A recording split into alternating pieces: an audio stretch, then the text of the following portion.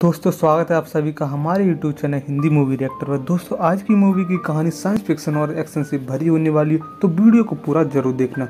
Movie की शुरुआत में हमें बताया जाता है कि सूरज की सोलर विंड और ग्लोबल वार्मिंग की वजह से पृथ्वी की 99 परसेंट पॉपुलेशन खत्म हो चुकी है। अब सिर्फ़ एक परसेंट ही पॉपुलेशन धरती पर बची है, जो कि अमीर और पढ़े लिखे लोग होते हैं। अब ये लोग धरती को फिर से बनाना चाहते हैं, लेकिन धरती पर इतने कम लोग हैं जिनसे काम नहीं कराया जा सकता। तब काम कराने के लिए साइंटिस्ट रोबोट्स को बनाने लगते हैं और जल्दी बहुत सारे रोबोट्स भी तैयार कर लिए जाते हैं।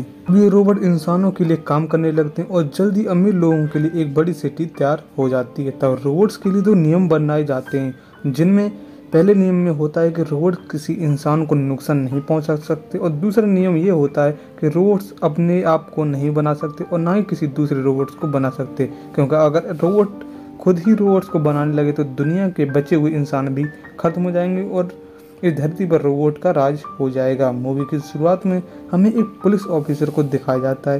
इस पुलिस ऑफिसर को पास से कुछ आवाज़ आती है।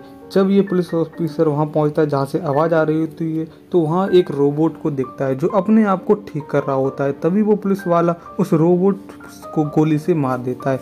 उसके बाद जैक नाम के एक आदमी को देखा जाता है जो एक इंश्योरेंस कंपनी का एजेंट होता है। जैक एक परिवार के पास आया हुआ होता है क्योंकि उस परिवार का कहना है कि उनकी कंपनी के रोबोट्स ने उनके कुत्ते को मार दिया है, इसलिए वो इंश्योरेंस के पैसे मांगते हैं। तब जैक रोबोट्स को अपनी आईडी दिखाता है और रोबोट एक्टिव हो जाता है, तब जैक अपने हाथ पर चाकू से बार करता है, लेकिन रोबोट उसे चाकू मारने से रोक देता है, जिससे साबित हो जाता है कि रोबोट किसी लिविंग चीज़ को नुकसान नहीं पहुंचाते हैं। उसके बाद जैक अपने घर आ जाता है, जहाँ हम देखते हैं जैक की वाइफ प्रेग्नेंट है और जल्दी जैक और उसकी वाइफ पेरेंट्स बनने वाले होते हैं। तभी जैक को उसकी कंपनी के एक इंजीनियर का मैसेज मिलता है उसे पढ़ते ही जैक तुरंत अपनी कंपनी की तरफ़ निकल जाता है। जब कंपनी में इंडियन जैक को वही रोबोट दिखाता है, जिसे पुलिस वाले ने शूट किया होता है। जैक पूछता है, इसे शूट क्यों किया गया? तब वो इंजीनियर बताता है कि एक पुलिस वाले ने इसे शूट किया है और उसका कहना है कि ये रोबोट अपने आप को ठीक कर रहा होता है, इसलिए मैंने उसे शूट कर दिया। जैक ये बात सुनकर हैरान रह जाता है कि रोबोट अपने आप को कैसे ठीक कर सकता है, जो कि नियम के खिलाफ है। तब इंजीनियर बताता है कि इस रोबोट्स के अंदर से हमारी कंपनी के पार्ट्स नहीं हैं, जबकि इसके अंदर दूसरे पार्ट्स लगे हुए हैं और उसे एक न्यूक्लियर बैटरी मिलती है, जिसे वो जैक को दिखाता है। ये बैटरी इतनी पावरफुल होती है कि इस बैटरी से रोबोट ज़्यादा समय तक एक्टिव रह सकता है और अपने आप को सैटेलाइट से भी कनेक्ट कर सकता है। लेकिन ये बैटरी बहुत कीमती होती है, इसलिए बहुत कम ही पाई जाती हैं।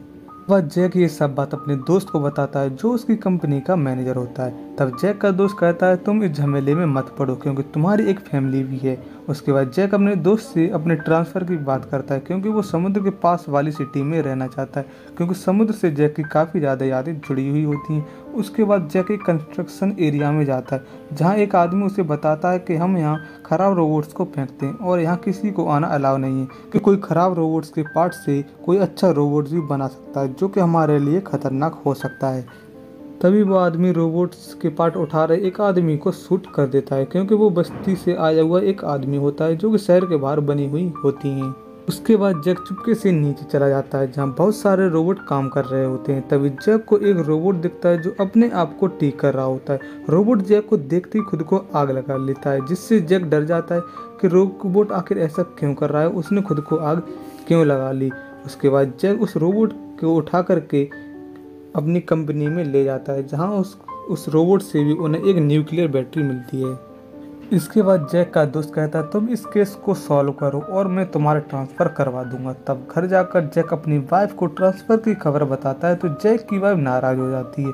वो कहती है, हमारा बेबी होने वाला है, हम इस शहर को छोड़कर नहीं जा सकते। दोनों में आर्ग्यूमेंट होने लगते हैं, उसके बाद जैक बाहर चला जाता है।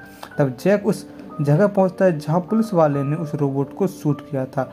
वहाँ जैक को एक और न्यूक्लियर बैटरी मिल जाती है। उसके बाद जैक उस पुलिस वाले को मदद के लिए बुलाता है। उसके बाद वो पुलिस वाला एक रोबोटिक साइंटिस्ट के पास लेकर के पहुँच जाता है। वहाँ जैक को एक काफ़ी एडवांस फीमेल रोबोट मिलती है, जो इंसानों को समझ सकती है। तब जैक न्यूक्लियर बैटरी के बारे में बताता है।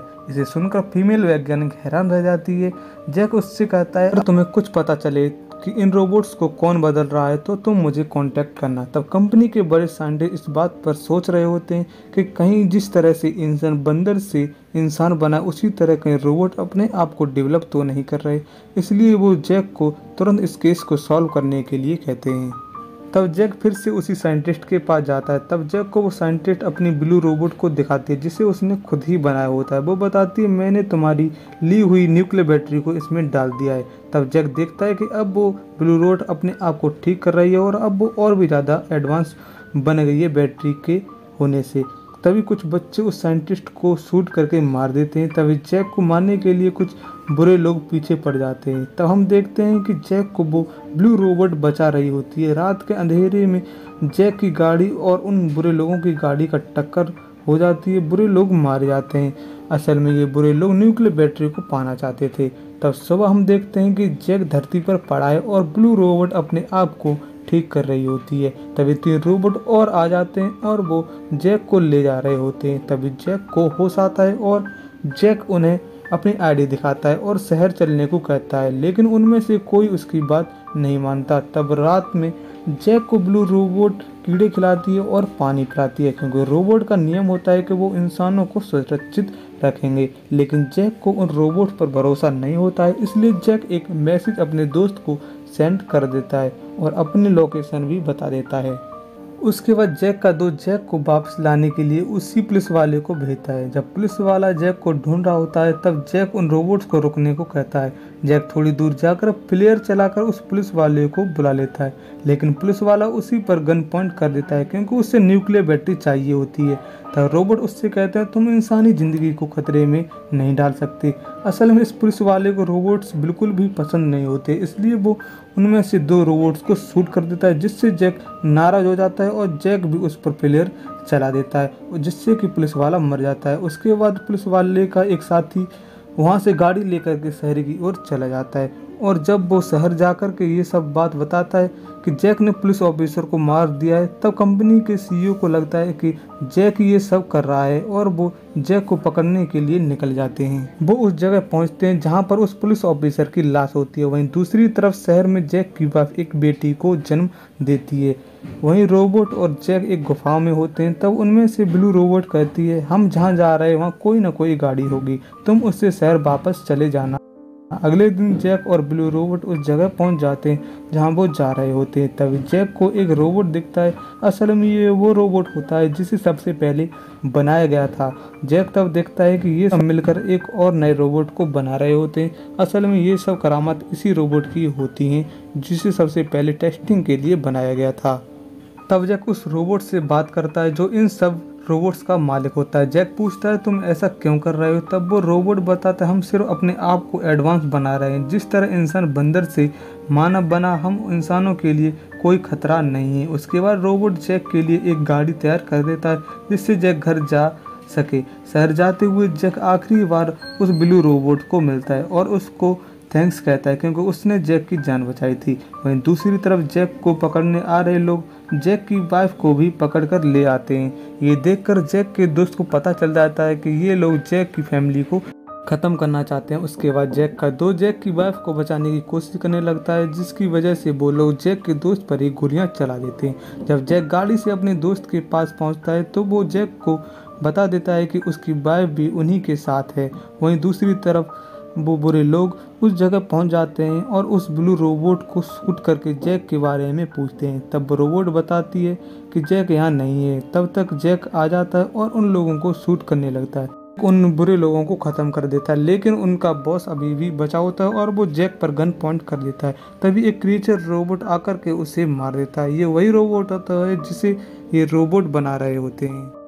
इसके बाद जैक अपनी बेटी को देखकर बहुत खुश होता है और वो ब्लू रोबोट उसकी बेटी को देखकर वहाँ से चली जाती है। लास्ट सीन में जैक और उसकी वाइफ अपनी बेटी के साथ शहर वापस जा रहे होते हैं और यहीं पर इस मूवी का अंत होता है।